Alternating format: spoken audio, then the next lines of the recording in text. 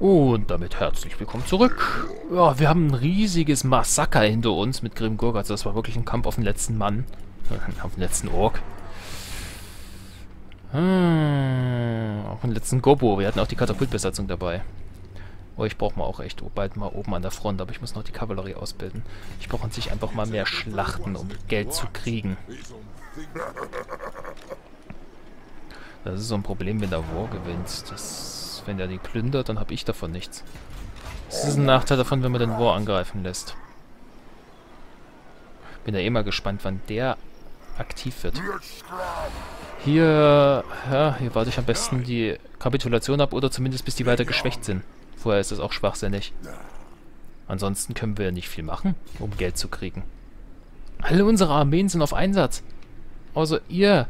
Aber ich möchte bei euch noch die Kavallerie haben. Aber das kriegt man auch nicht so schnell zusammen. Es ist gerade sehr eklig. Ich hoffe, dass die Zwerge nicht mehr so schnell kommen.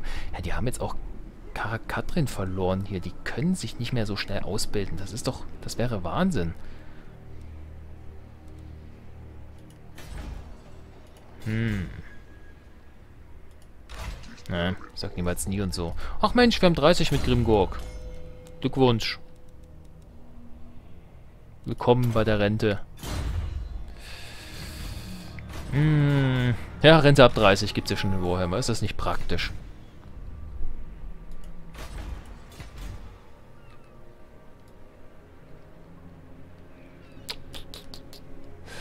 Ich will jetzt gern irgendwas kloppen. Not likely. Wisst ihr was? Ich glaube, ich klopp auch. Von mir aus versuchst du allein das Ding anzugreifen, aber ich sehe jetzt keinen Sinn darin, hier ewig lang dazustehen und zu warten, bis hier mal was passiert bei den Städten. Ich glaube jetzt hier, um Geld zu verdienen. Das ist, glaube ich, klüger. Ihr beide bleibt mal hier. Das ist schon ganz gut, was ihr hier macht dass wir uns wenigstens die Stadt hier mal holen. Aber jetzt beide, beide Reiche versuchen gleichzeitig zu stürzen. Ich glaube, ich konzentriere mich lieber drauf, mit ein, einen Trupp einzunehmen und der andere Trupp schaut, dass er hier alles mögliche aufreibt. Vor allem um Geld zu verdienen. Durch Schlachten. Die brauchen wir jetzt, die Knete. Du, ah, unser Schamane. Magieerdung. Das ist okay.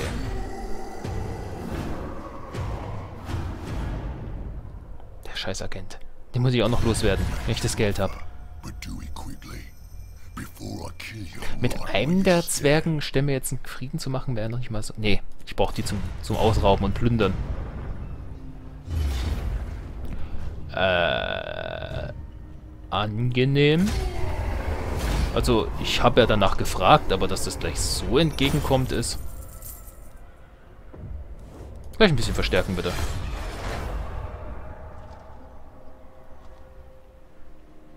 Das ist halt der Nachteil bei den Tunneln.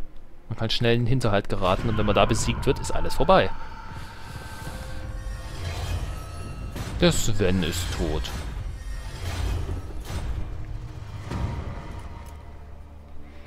Na, die würde ich mir früher oder später schon gern holen, ja. Du bist wieder tot. So. Noch einmal Schwarzorg, einmal Moschas. What? Oh, fuck. Rekrutierungskapazität. Das könnte ein bisschen dauern.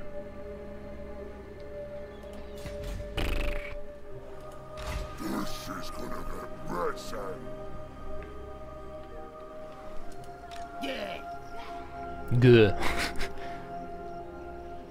äh. Oder wir holen uns Karakbufda. Kackname. Aber ihr habt kaum Garnison. Ich plündere euch jetzt. So.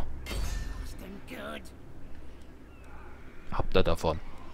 Wovon? Keine Ahnung. Ähm, Nachtmantel noch. Dann können wir noch die arkane Kanalisierung machen und dann wird alles gut. Hier braucht es noch sechs Runden, bis die Vorräte weg sind. Es geht voran.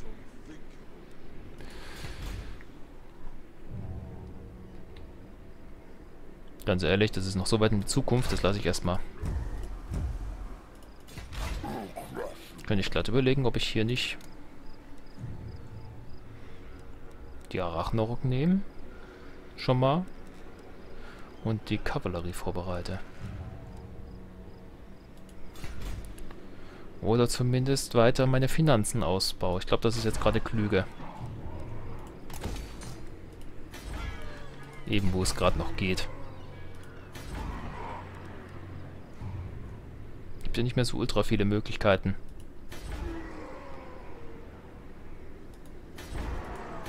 An Moneten zu kommen. Gab es hier eine größere Mine? Nope. Warum mehr Geld? Alarm.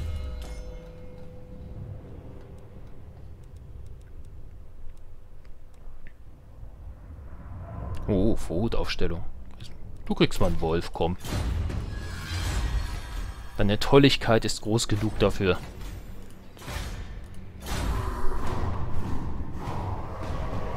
Und ich muss ja vor allem hier mal endlich Städte plündern für meine Quest. Wird Zeit, dass Asak der Vernichter auch endlich mal Magie bekommt. Hallo? Och, die wurden zurückgeschlagen. Entscheidende Niederlage. Ja, super. Geflügelter Bekloppter. Gut. Einkommen durch Überfälle. Ah. Du da? Double du da?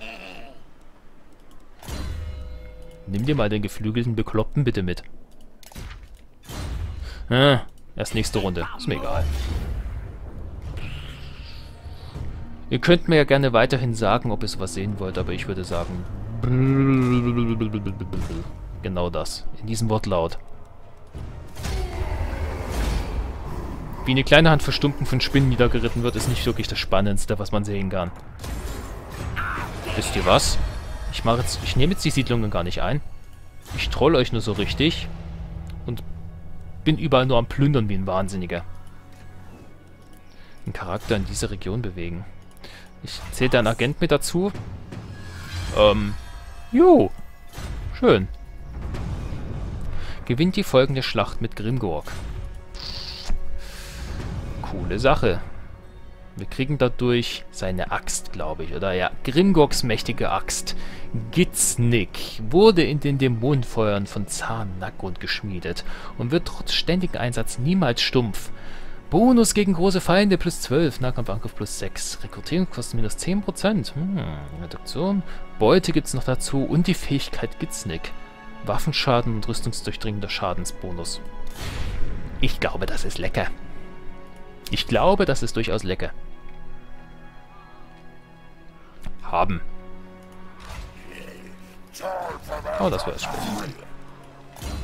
Du bist besser geworden. Ich verstehe. Dann geh mal weiter auf den War zu. Ähm, das andere wäre da blutige Rüstung. Dazu müssen wir erstmal da hoch irgendwie. Beliebiger Charakter können auch unseren Agenten hochschicken. Aber der soll lieber den Typen mal ummeucheln. Oh, kritischer Erfolg, das gefällt.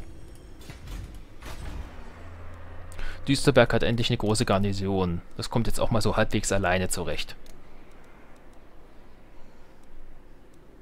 Düsterberg kann vor allem noch eine Schatzkammer gebrauchen. Ich bin da überlegen, brauchen wir das Rekrutierungslager Natürlich. Ich noob. Wir machen das hoch und holen uns die Moschas zumindest hier, den einen Trupp. Hm.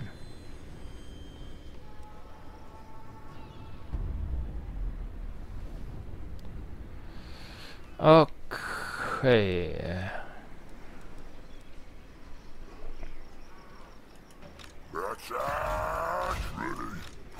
Das passt.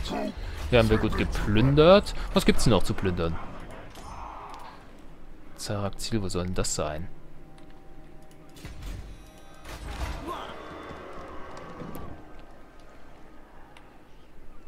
Also, falls kann ich, ich kann mich auch mit der Armee anlegen. Und wir machen erstmal ein Plünderlager. Gibt erstmal ein bisschen Kohle. Und wir können hier jetzt mal weiter ausbilden. Fällt mir gerade ein, wir haben jetzt das Geld das, das Aufhören mit dem Plündern, das war das Schlimmste, was ich machen konnte. Äh, Da bist du. Dann nimm dir noch eine Arachnarok-Spinne mit. Und 3-3.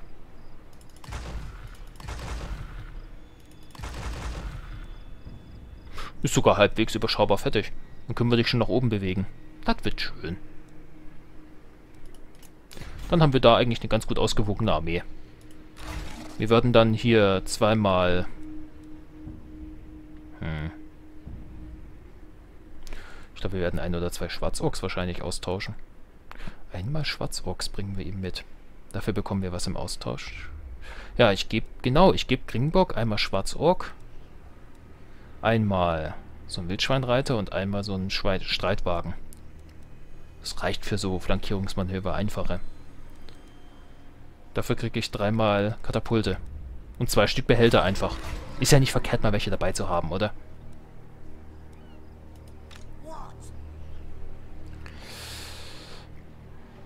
Plan ist erstellt. Dann brauchen wir hier oben gar keine, äh, nicht mehr ewig lang neue Schwarzorks zu rekrutieren. Und hier kann ich lokal den einen Moscher holen. Plan steht.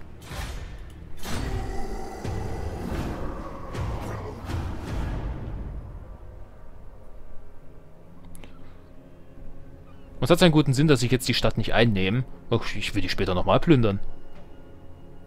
Und nochmal. Und nochmal. Und nochmal. Alle fünf bis sechs Runden gucke ich da, glaube ich, mal vorbei.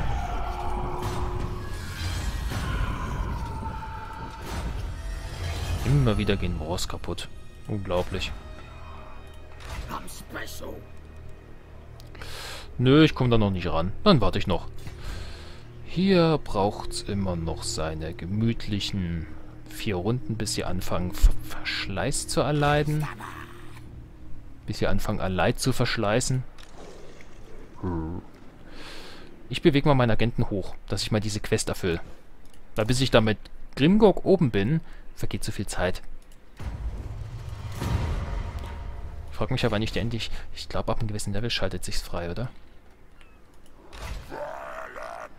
Was, 8 oder 9? Irgendwie so? Dass ich die Questreihe von Asak bekomme? Wollen wir auf jeden Fall auch noch machen. Hm. Oh, du wirst sogar noch befördert. Übernächste Runde haben wir alles. Schön.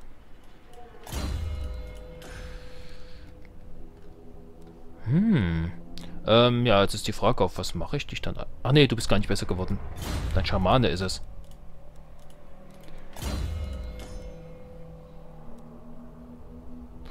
Dreistes Klauen. Dreistes Klauen von den Winden der Magie anscheinend. Ja, ja. Quälendes Jucken. Machen wir mal einen vernichtenden Blick. Und jetzt können wir es endlich. Die gewaltigen Spalters. 10% mehr Waffenstärke. Das bedeutet bei unseren Schwarzorks... Ja, so knapp 5 Waffenstärke dazu. Ist was. Ist durchaus was. Bei unseren Spalters das gleiche, bloß ohne Rüstungsdurchdringung. Aber eben gegen große Feinde. Wenn wir dann nochmal plus 10 Rüstung auf alles kriegen, das könnte schon echt interessant werden am Ende. Nächste Runde, oder? Oder? Passt alles? Passt alles. Okay. Mal gucken, ob er noch ein Stück näher kommt. Dann können wir nämlich die Schlacht schlagen. Mit den Spinnen, Spinnen gegen Stumpen. Spinnen versus Stumpen, jetzt im Kino. If I don't like what you say, Mork will be eating your guts tonight. Nein. Ich krieg durch Plündern von deinen Siedlungen viel mehr, als du mir für den Frieden anbietest. Können wir es nicht machen wie bei Age of Empires 2 mit Attila, als wir hier Ostrom überfallen haben?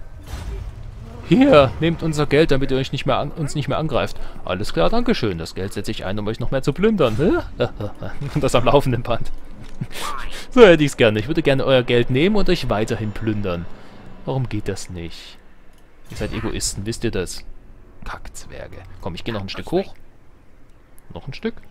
Und hier Plünderlager. Dann kriege ich euch beim nächsten Mal. Ich möchte euch noch... Ich möchte euch umrennen. Hm.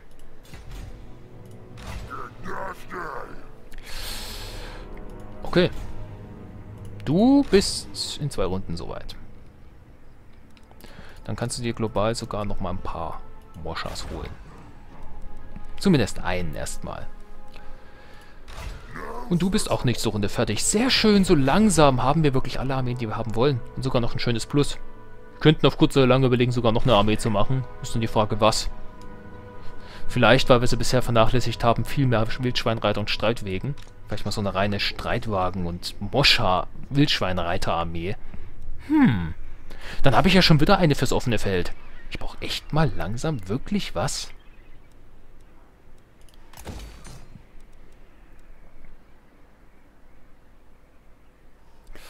Für Siedlungsangriffe. Also so normale Siedlungen zu plündern ja kein Problem, aber irgendwas mit Mauern. Ich brauche echt mal so eine reine Infanteriearmee neben Grimgorg. Wäre auch eine Idee. Vielleicht sogar schon eher. Ich bin sowieso schon viel zu mehr auf, sehr auf offenes Feld. Vielleicht einfach noch, so, noch mal so eine reine Schwarzorg-Armee irgendwie. Nö, wollt ihr immer noch nicht. Nö. Der hat bald schon wieder eine Armee. Und der ist schon wieder am Losstürmen. Ah, gut. Ich, ich war gerade gedanklich woanders. Ich dachte der ist schon fast wieder bei mir.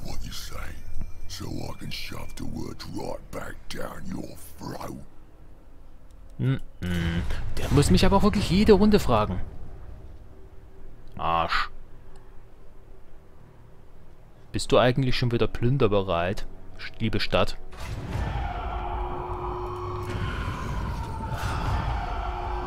Der ist aber auch am laufenden Band hier dabei, meine Garnison anzugreifen, oder? Und meinen Agenten will er auch kaputt machen.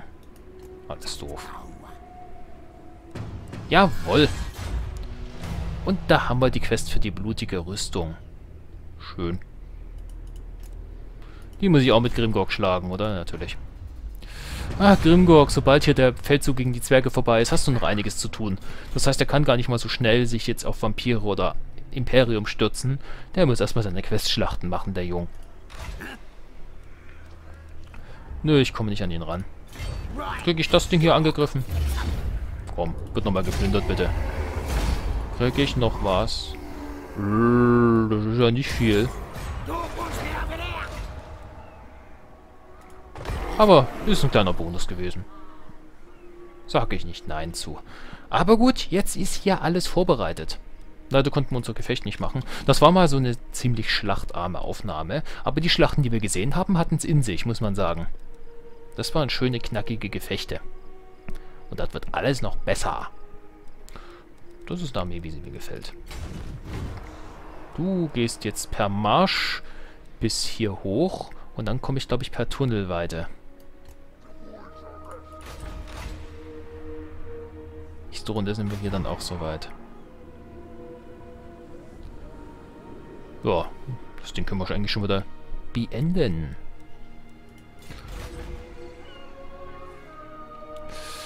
Ähm, hier? Hm. Moneten, Moneten.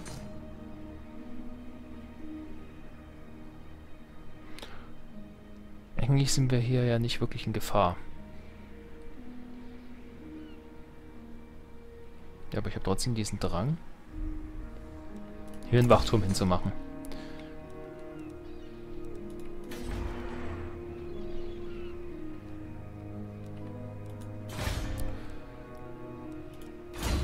Hacker der Listige. Da Listige. Die Kanalisierung. Schön. Der wird besser und besser. Ja gut, diese kleinen Überfälle immer. So kriegt man auch Erfahrung. Hm. Jetzt kommt er näher, aber dann haben wir wenigstens unsere Schwarzorks wieder im Repertoire.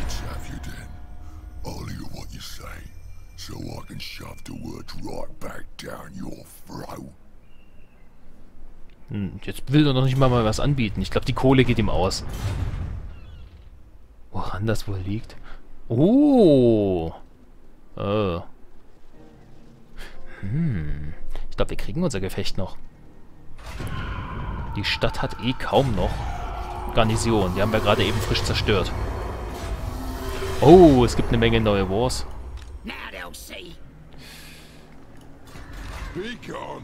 Ja, ich glaube, da können wir jetzt mal drauf treten, ordentlich. Das ist schön. Wir haben zwei neue Wars hier. Hm, ich glaube, die erhöhen unsere Chancen ein klein wenig. Das Ding anzugreifen. Aber jetzt nehmen sie eh Schaden, oder? So langsam.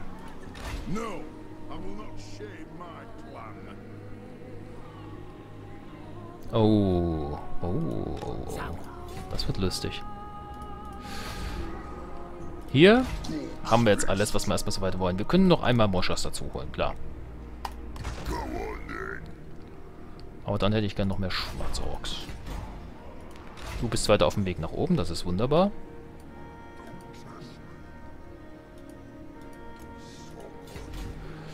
Und wir machen unser Spinnengefecht noch. Ja, du.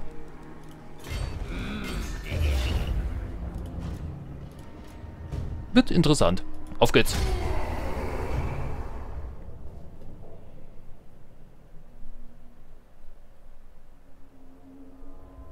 Wird jetzt nochmal ordentlich reingemoscht. Wird nicht lang gezimpert. Unser Arachnarok gehen wieder voll frontal rein und unsere Spinnenreiter außenrum. Wir bräuchten echt mehr Arachnarok und weniger Spinnenreiter. Ich brauche eigentlich nur ein paar für ein kleines Flankierungsmanöver. Da würde die Hälfte ausreichen.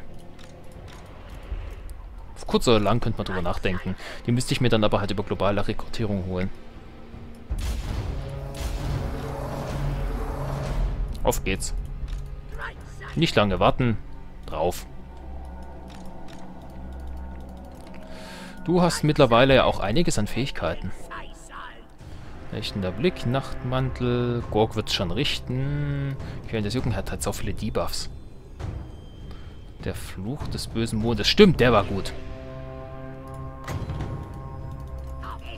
Der Erinnerung ist wieder da. Puh, seid ihr... Boah, fuck, ich vergesse immer, wie schnell ihr seid. Nicht so schnell. Hier, die Kavallerie muss doch noch rechtzeitig da sein. Im wahrsten Sinne des Wortes. Und ich möchte euch mal den Fluch des bösen Mondes ins Gesicht hauen. Das ist mir wichtig. Weil ich glaube, der war gut. Gucken wir mal, wie das ausschaut. Das ist ein Pac-Man. Es ist ein Pac-Man.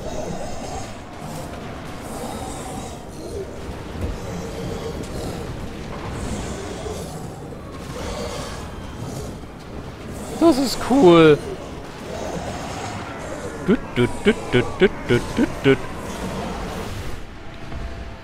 Ich glaube, das hat Auer angerichtet, oder? Uh, sah zumindest danach aus. Ob es jetzt wirklich so war. Hm. Kann man sich streiten. So, mal ein bisschen rüber. Und hin. Jetzt ist das... Se Wann bist denn du in den Nahkampf gegangen? Aber jetzt gibt es ein Sandwich. Hm.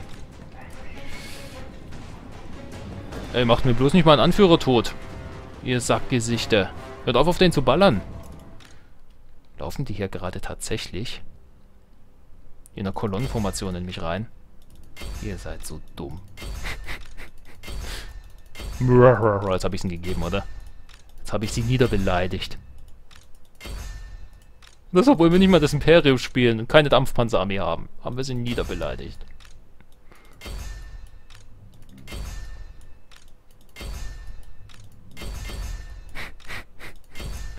oh Mann, ey. Ich stelle mir das gerade so echt bekloppt vor. James nieder und seine Rebellenarmee. Nieder mit dem Imperium. Was? Ach, ihr versteht schon. Idioten. Überall wird gekampft. Ja, gekampft. Der Pac-Man war aber so cool. Äh, upsie.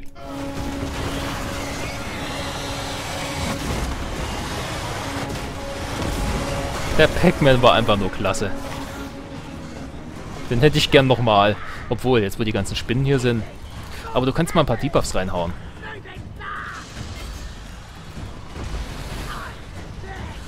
Quälendes Jucken.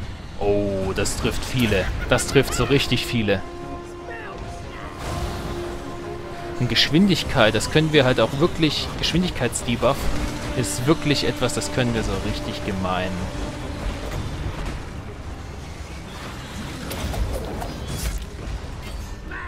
Auf Fernkämpfer machen, dass sie nicht so schnell abhauen. Das kann man schon richtig gut machen.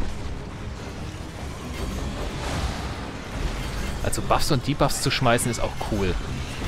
Bin ich ja an sich auch bei MMOs ein sehr guter Fan von.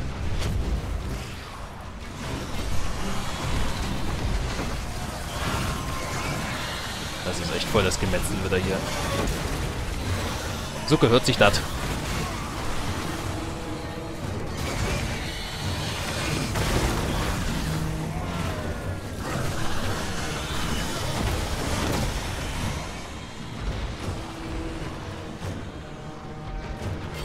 Geht mal damit rein.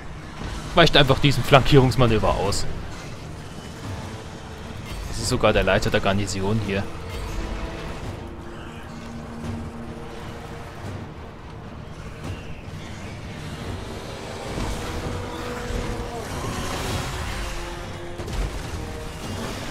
Da müssen wir wieder gut was essen am Ende. An Gefangenen. Junge, lass dich hier nicht töten, bitte. Du bist mir mittlerweile gut genug. Dass das echt schade wäre.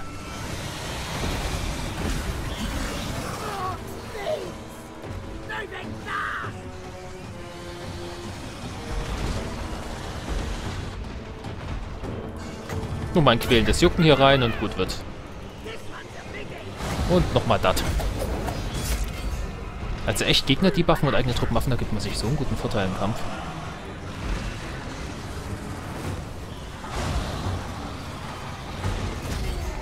Und da ist der Sieg. Ich glaube, das muss, muss reichen, oder? Wir haben jetzt eh eine Stadt angegriffen, das heißt, es bleiben eh keine Überlebenden da.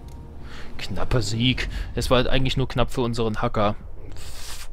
Was die Arachnorok-Spinnen angeht, sehe ich da nichts Knappes. Der Kommandant hat keinen Schaden genommen. Die Grimmbraue. Grimmbraue. Alter, ist das ein Name. Das Ausrauben bringt ja fast gar nichts.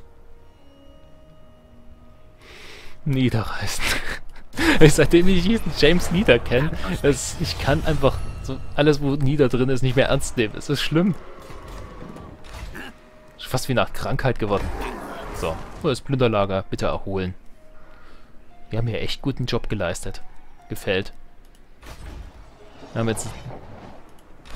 Stimmt, wir haben die Siedlung eingenommen, deswegen durften wir gar nicht spachteln. Schade. Okay, alles klar. Ich würde mal sagen, an der Stelle machen wir das nächste Mal weiter. Wir haben gerade eine sehr spaßige Ausgangslage. Mit unseren Spinnen plündern wir. Hier dauert es nicht mehr lang, dann reißen wir die Siedlung hier nieder und gehen weiter. Vor allem mit den Wars können wir jetzt viel anrichten. Und hier haben wir jetzt auch endlich unsere nächste Armee ready und machen mit Grimgurk endlich mal Druck. Er kommt hier, äh, ja, mit ziemlich Trash an. Alles klar? Dann bedanke ich mich soweit wieder fürs Zusehen. Und wir sehen uns beim nächsten Mal, wenn es ein bisschen mehr Action gibt als dieses Mal. Aber ganz ehrlich, könnt zugeben, die Action, die wir hier hatten, war zwar weniger, aber dafür war sie hochwertiger, oder? Gut, dann bis zum nächsten Mal. Bye bye.